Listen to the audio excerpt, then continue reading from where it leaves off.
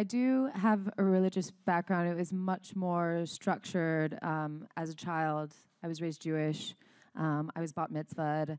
It was very much um, my identity in, in many good ways and bad. I lived in San Antonio for a few years and I was really badly teased while living in Texas for, for religion. So it was always kind of this confusing thing because, you know, I had family who would tell me our legacy within our history, and then I had schoolmates that I was made to feel shame for it. And then I moved to San Francisco at a young age. And then it was just like, oh, it's just a nothing thing. Like, cool, you're a Jew.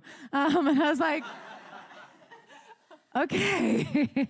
you know, but like there were moments in my life where there were policemen outside of my temple and I thought that was a normal thing. So as I've grown older and as I've traveled and as, you know, I've talked to so many people in so many different cultures about what their beliefs are, I think it's been important for me to understand that I definitely have faith. It's um, not necessarily typical or, you know, reflective of how some of my family feel or anything like that. I went to Israel last year for the first time and spent a lot of time there kind of learning the ins and outs and everything um, as much as I could. So I do think it's fascinating, and I do think that um, my next question will be when I have kids, what is what is the story that I'm going to take them on and how I'm going to involve them. I think it's really interesting, and I'm not there yet. I think this film um, definitely kind of gave me a new light into uh, a world that I obviously didn't, you know, that wasn't my upbringing.